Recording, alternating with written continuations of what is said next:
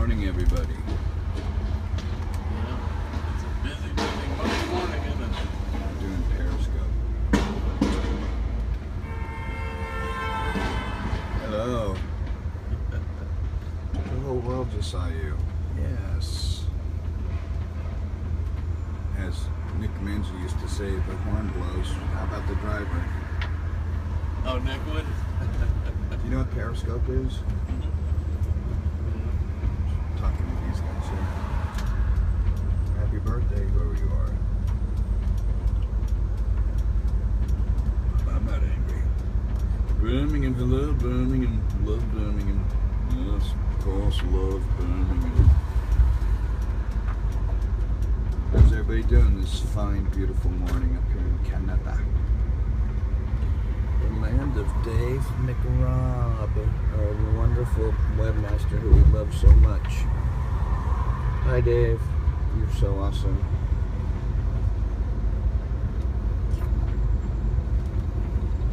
I love Cleveland.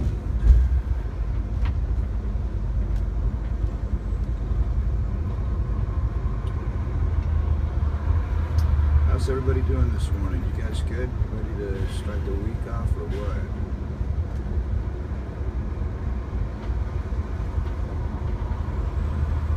Oh, cool. Look at that building up there. It's like a castle. Can you see those two things? See if I can not dump coffee all over myself. Right underneath that sign, right there. Look how bony my finger is playing guitar. Talk about the ravages of arthritis. Holy crap.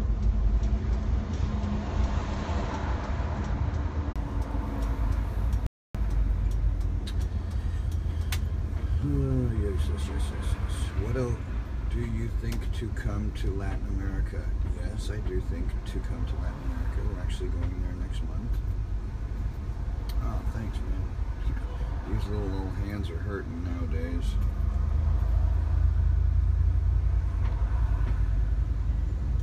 Thank you. I am staying safe. This is our driver, Jeremy. Say hi, Jeremy. Hey, guys. He's actually really mean. He's nice right now. By Wolverines in Nashville. See, that's what he does right before he'll kill you. He laughs. This is one of my favorite, favorite things about touring is looking at construction sites and watching all the progress. Of course, I know this causes incredible traffic jams, but I guess it's the little boy in me still. I love watching this stuff. I think it'd be really cool to own a giant construction company. A lot of unsung heroes in the world that go out there and build the infrastructure of all of our cities that we live in that go without being thanked. And I, for one, am really grateful for the men and women that get out there and build the places where we live. It's cool coming to places like Quebec where Unibroue's at because now I'm becoming familiar with the country and the city up there, so I get to see all kinds of progress. Blue moon.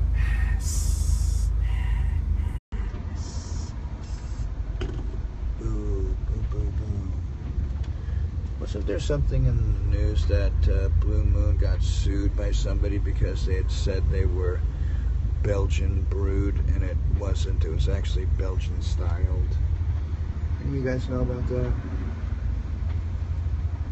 No, I'm not saying I like road construction. I'm saying I like construction. Road construction sometimes sucks. You know, I think that kind of goes back when I was a kid. My big brother-in-law, Stan, um, Michelle's husband, he used to build little model railroad tracks like that stuff there, and, and I used to love that. That was the coolest thing. What what little boy doesn't like a model train set growing up?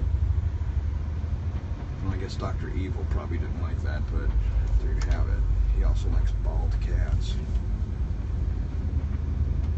The beer will be in Peru soon. We, we're talking to a distributor in Brazil, actually. We have two distributors that are there that are trying to get us to uh, work with them. And uh, the company that distributes in France, uh, it's at sign K A N A T A F R, Kanata F R those guys may have the rights to distribute to South America, which means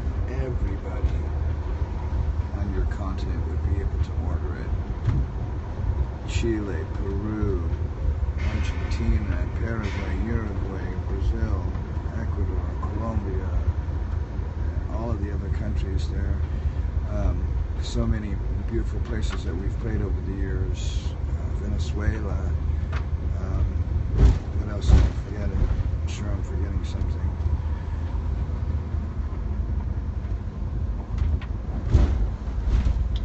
Thanks, man. Enjoy work. Do your best.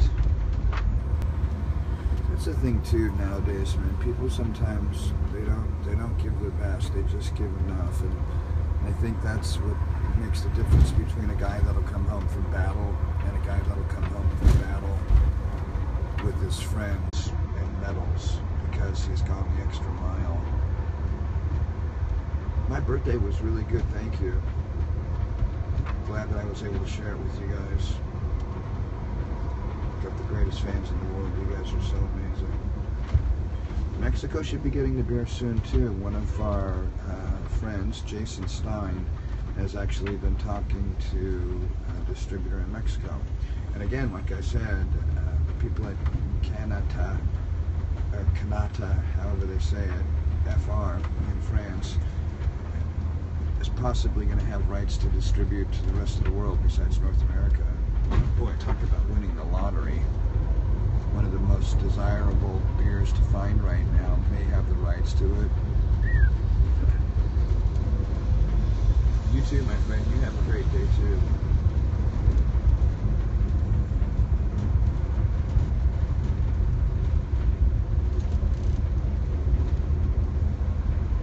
One of the things I was just talking to Pam about the other day in California, in North Hollywood, where the northbound 101 merges onto the southbound 405. When I first met David Ellefson, before I even met Pam, they were working on that off ramp from the 101 onto the 405, and I believe that they are still working on that off ramp. Can you believe that? It just shows you how how sad politics are in California. It comes down to taking care of the people. My state, where I live in Tennessee just now, they just did, I think, probably 15 or 20 miles of freeway that they repaved at night uh, on the 65 and it's just mind blowing because you get so used to just laziness and, and ineffective uh, road construction. I don't know. I think it all, you know, what they say rolls downhill comes from a, a very weak, uh, ineffective governor, mayor, senator.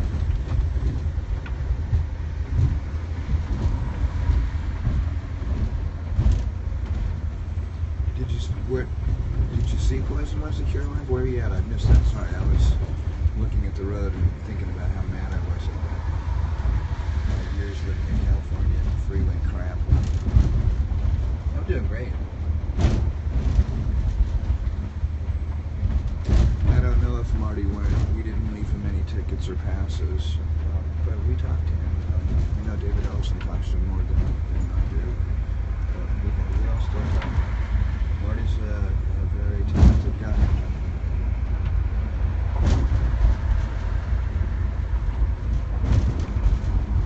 The stock exchange was interesting. A lot of people were griping that I went there, but just like me joining the Grammys uh, for the Nashville chapter, I went there to affect change. I'm going to uh, do my very best to get another category for the Grammy categories from metal. And we went down from multiple ones to just one now, and, and uh, I think that we deserve more than one, and, and that's one of the things I'm hoping. I've also joined the um, advocacy group at the Grammys, which is uh, going to be uh, a group of us musicians who will be speaking to Congress about rights for musicians and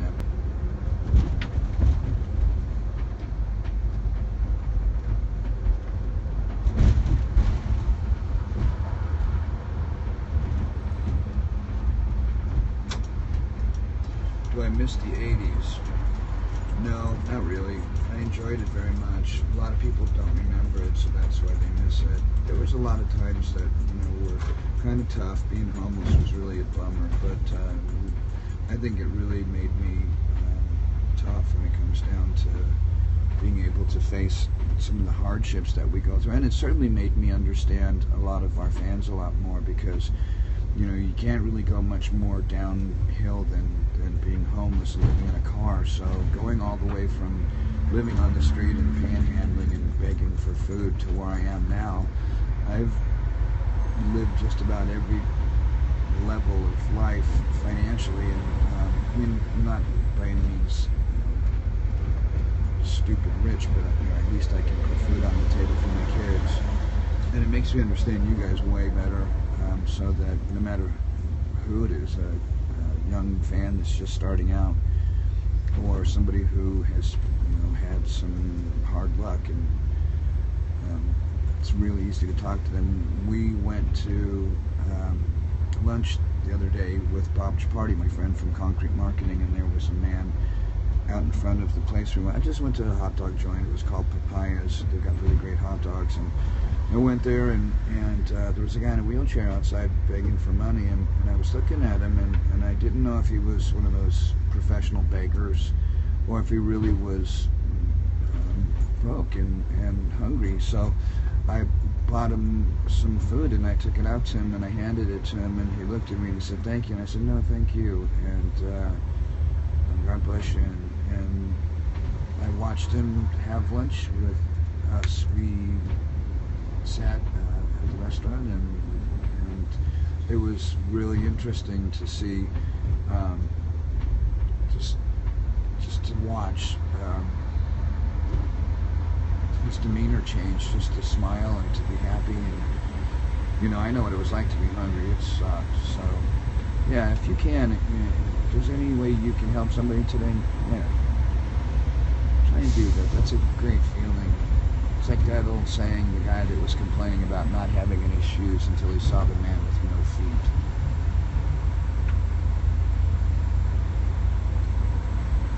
I've always tried to help people.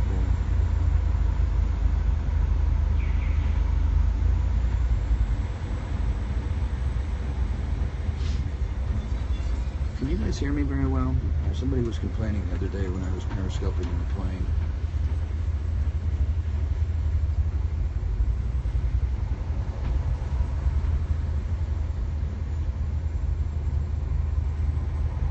I think the best way to tell if somebody's lying or not is to offer them food uh, or drink. Um,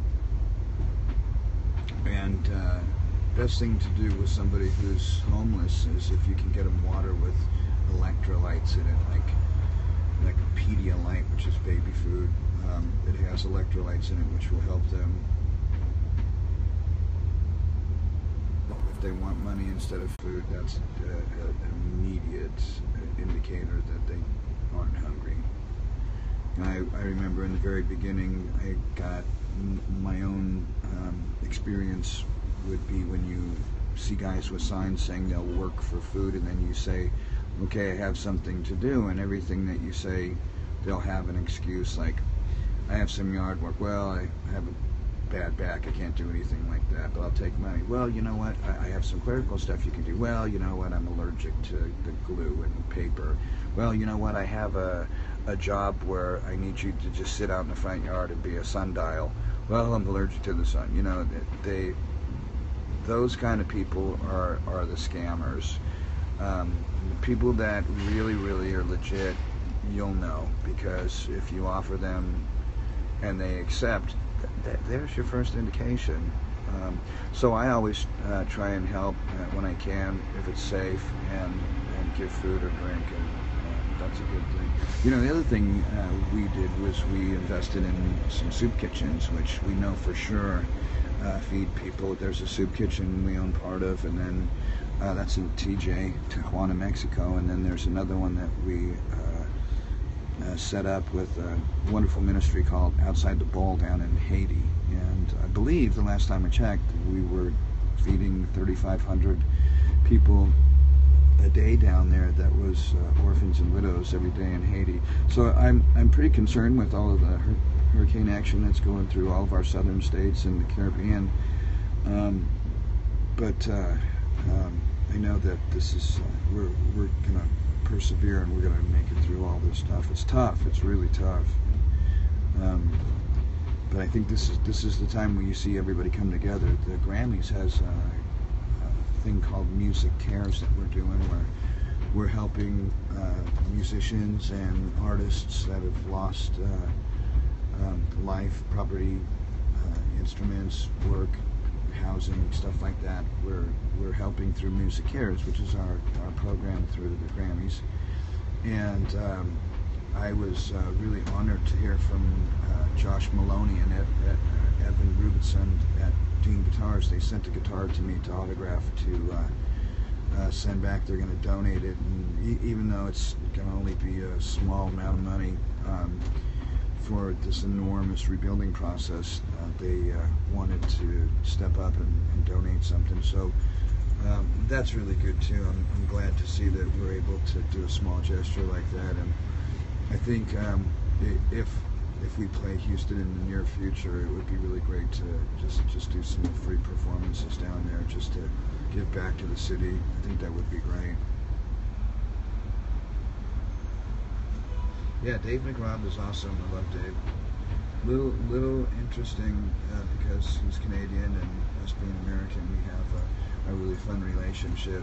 Um, not too rough. We don't we don't get too too rude with each other, but uh, um, we definitely have a really fun relationship.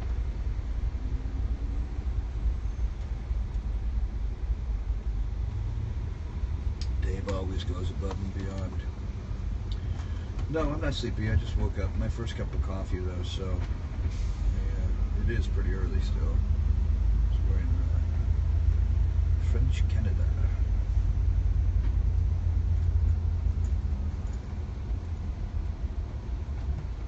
So do I what?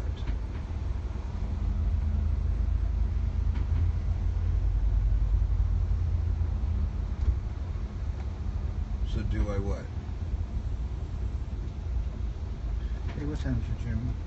It is like five to nine. Yeah, it's Coast uh, time. almost 9 p.m. Uh, 9 a.m. in the morning here. So, yeah, early, early, early, early. You guys want to see what the bus is like? Let me Get a quick tour real quick. Okay, so this is is our lounge up front.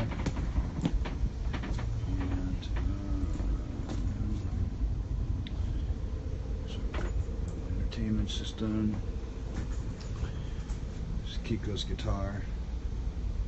I secretly go in there and play um, uh, very evil songs on Kiko's guitar to make it mad. Just kidding. and then here is condo bunks are for the band guys. Usually you have uh, three of these on each side, not two. And we have usually 12 of them. in.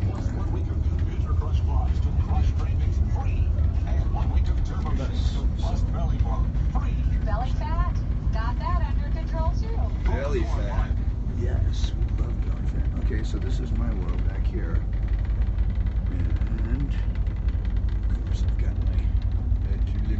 beer. C'est bon.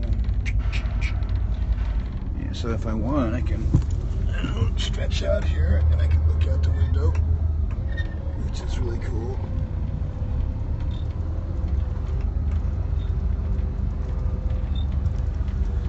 I can peek on the truck drivers and go, dude. He had an inflatable doll in his truck. No, I'm just kidding.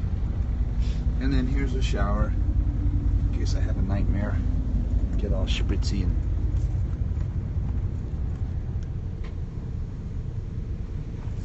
Get smart doors. Another get smart door. And then the Lou's in here. And I'm up there. So that's the 25 cent tour. This is what we live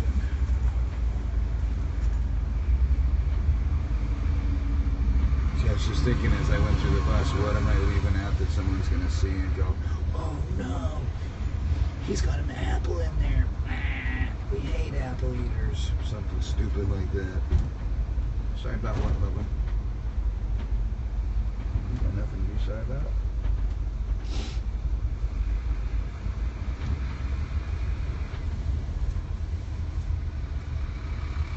How would you like to do this every single day?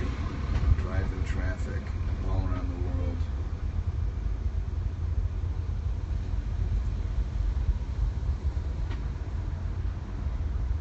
Look at that sign. Bad monkey. Right. Do you actually know a good monkey? Does anybody know a good monkey? Yeah, but not driving and riding in a bus is still kind of the same. You know, you're still in transport. I, I guess have to come out here and hang with me for a little while, friend.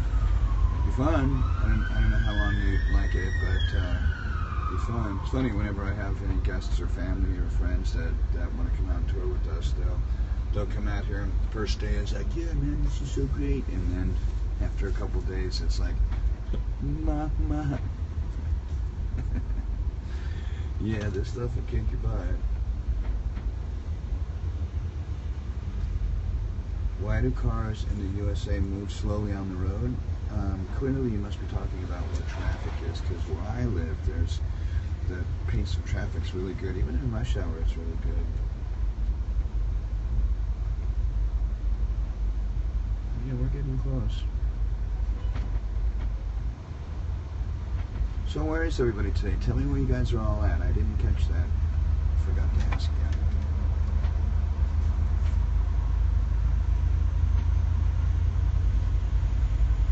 Detroit. Dirk is sleeping. Anybody watch football this weekend? It's funny how how football's losing its popularity right now with all of the uh, politicizing that's going on on the field. Um, yeah, I was surprised. I saw the ratings and, and I thought, uh oh, the Browns stink. That's funny. You know, I was a big NFL fan, but I just, I just don't care anymore. You know, it's become, I mean, with all of the end zone celebration and and just, you know, all of the stuff that goes along with it that has nothing to do with football at all. You know, the. Uh, posses and the drugs and uh, domestic violence at home. It's just crazy. Uh, me being 55, I remember back when the guys had crew cuts and, and you know, uh, the days of Johnny Unitas and Fran Tarkenton and, and Roman Gabriel and, and all those players, Joe Namath and Joe Montana. Wow, talk about really, really amazing, amazing players. Uh, Barry Sanders, uh, Emmitt Smith, one of my personal favorites, Jerry Rice. Um, Jerry Rice was one of the most amazing, classy players ever. And I remember when he went from the 49ers over to the uh, to the Raiders, I thought that was so great. But even I knew that that wasn't right because Jerry was a 49er, and uh, you know, like I said, just the epitome of grace. I I remember him saying that he took ballet lessons so that he could effectively fly through the air. And and uh, if there was a Michael Jordan of football, it would have probably been Jerry Rice, or vice versa. If there was a Jerry Rice in basketball, it would have been MJ.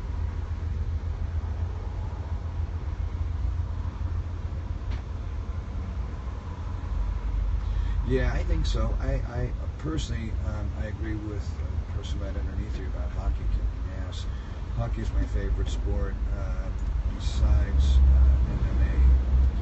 You know, the just watching mixed martial arts, seeing the different styles, seeing the different strengths, and, and so on and so forth. It's it's really amazing. I was. Um, I'm still not sure how I feel about the McGregor Mayweather fight.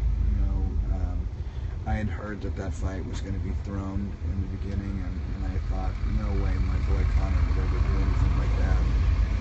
But uh, regardless, I thought that it was great to watch, you know, this young, talented fighter go from being a, a you know kid that was scrapping in in Ireland to being um, a household name in mixed martial art, and and uh, for that I, I'll always be a fan.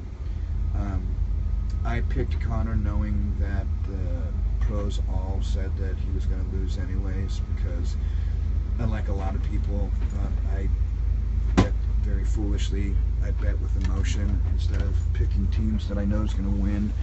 I'll pick a team that I like.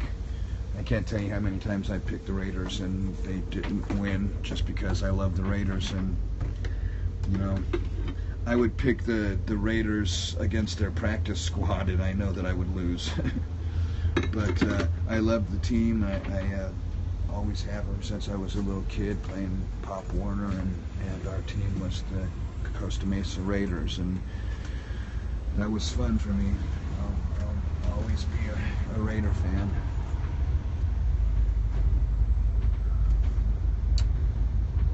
Wow, that's a big tattoo joint. Gotta sign that big. You gotta be good. We getting close? We are eight miles. Eight miles. That sounds like a name for a good movie.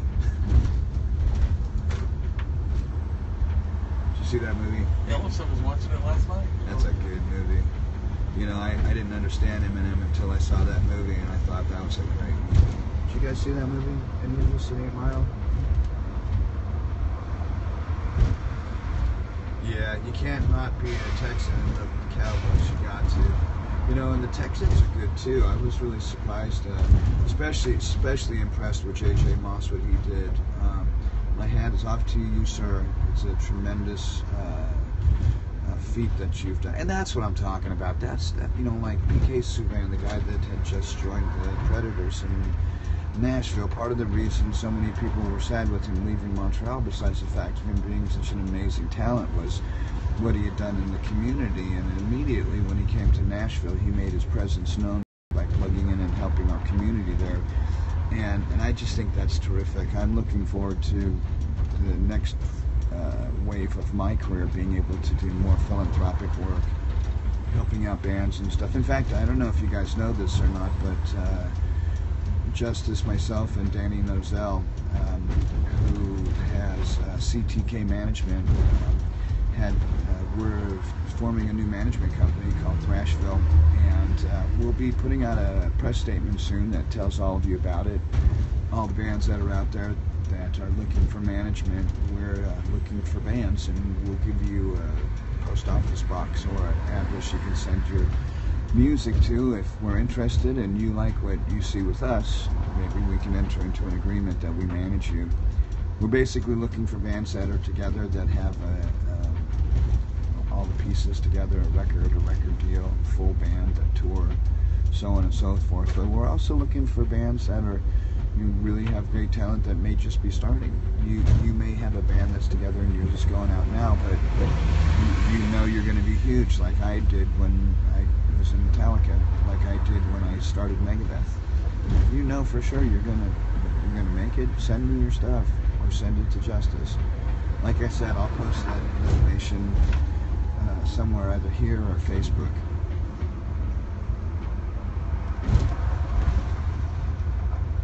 Does that sound good to you guys? What do you think? Pretty cool, eh? It'd be nice to have a management company by musicians that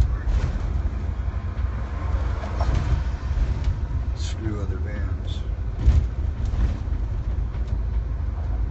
Liam. Hey, do you guys know that guy Liam, the little kid that used to come out here? I haven't seen him for a while. I don't know if he got sick or, what. It's a little 14, 15 year old kid that lives in Florida. You guys remember him? No, nobody knows. Liam.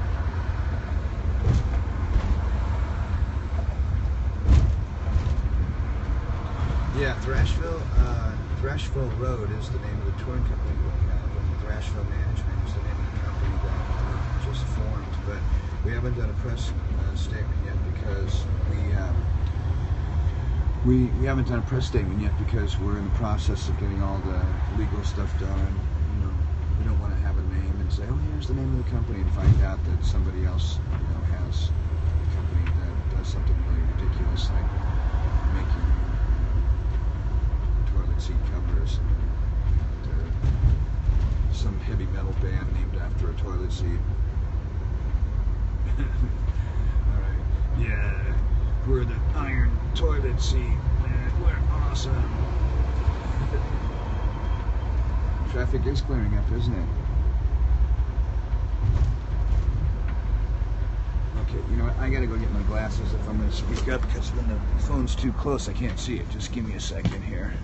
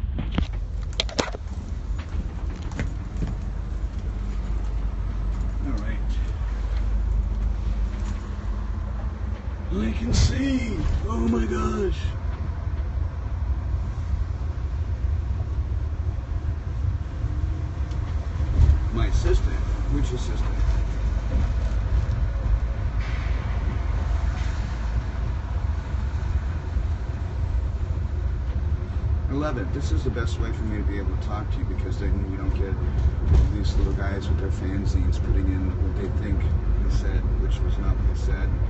It's a really easy way for me to dispel some of the crap that's spoken about me at some of those real horrible gossip metal sites that think they're helping, but they're doing nothing but hurting heavy metal in general. You know, the funny thing is the little douchebags that run those uh, websites would never say the stuff that they say to the bands that they put down. I don't know.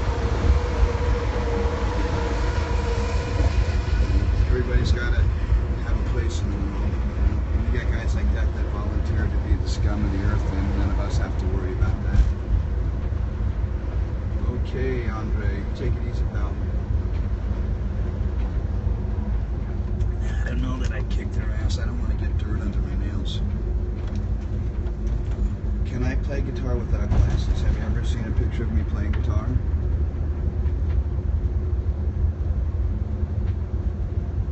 Thank you. Thanks, bud. The New York Stock Exchange is actually great for us, for our companies, the beer company and the wine company, because I want to focus on making music, but this has been such a great opportunity.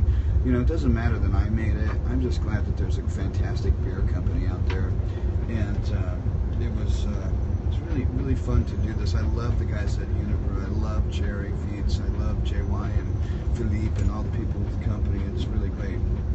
Nice feet. You like my shoes? They're John Varvatos. I can take them off if you want. Go put on some construction boots. I don't know how Eddie Show's doing. I haven't seen him for a while. Thank you about that. Actually, uh, take no prisoners. The background vocals were turned off for the first couple uh, background vocal lines from the boys, so I was a little frustrated. Say hi to your bus driver. right to have my class 1A in Canada. He said he doesn't care. No, just kidding. yeah, I like John Varvatos. It's you know, it's kind of edgy, kind of punky. Reminds me of like if Scott Weiland and Johnny Rotten and, and I all did a clothing Thanks, Chris.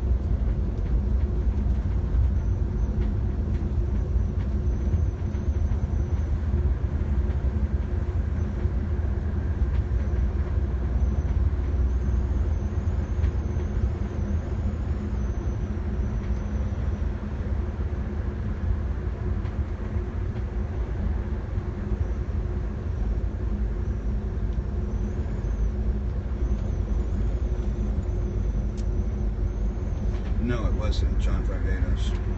Beer's being made in Quebec. I did drink the coffee. Not all of it, I only had one cup. Which song are you talking about, Chris?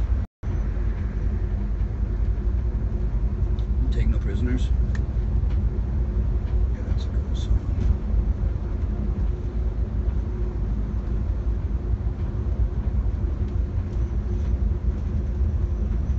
Have I ever thought of stage diving into the audience? Well, maybe before my neck uh, was put back together again with screws and plates and shit. Nice high heels. Boy, are you retarded.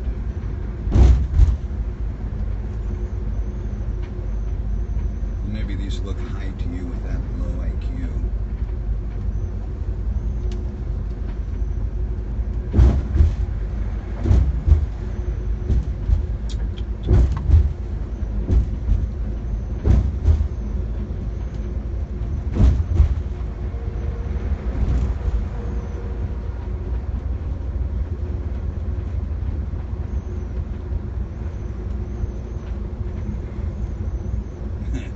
I'm a warrior with my shoes.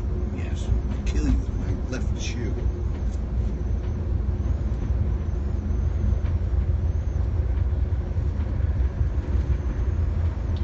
You know what? We could do that if you want. Well, I think we actually did Ashes in Your Mouths with those guys. John Varvatos does have cool stuff. A little pricey, but you know, if you take good care of your clothes, they'll last a long time. I believe that if you buy the right thing the first time, you'll never have to buy it again. So I'm really, really conservative with the things that I buy. I try and, well, I'm not going to say that word. Let me scratch. Gong.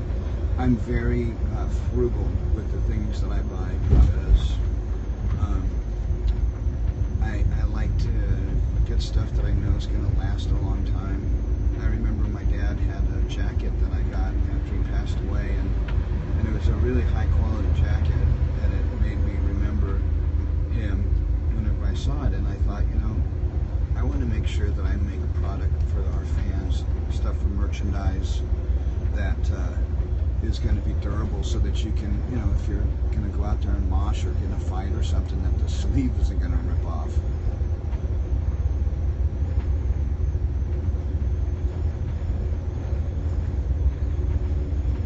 Anyways.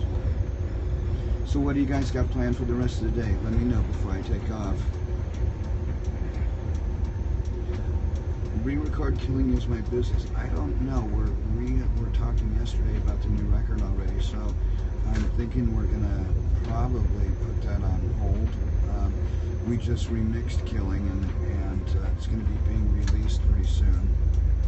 So that should be enough because I think that the new mix on it is really super aggressive. It's got all the new tones and all the great sounds and stuff that that uh, are, are the amps nowadays versus the stuff we used back then. Because the amps back then it was just an amp and a little pedal. That's all we could afford.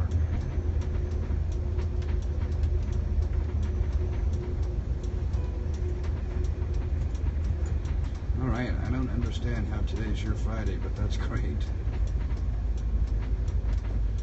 But if you cannot type in in uh, kanji or whatever uh, katana, that would be great, so that I can read what you're saying, because I can't translate it fast enough. Why is it foggy now? Eh, we're up by the North Pole. Maybe that has something to do with it. Yeah, the beer's great, man. I I, I don't want to say that uh, it's better than anybody else's beer, but it sure is good to me, man. I'll tell you. I used to drink Corona or Heinekens a lot, and now I can't drink either one of them. If it's a choice, uh, it's it's going to be uh, Corona because I just can't drink Heine anymore after having uh, Tout le Monde. It's just so much better. And uh, Heine's just it's so skunky to me now.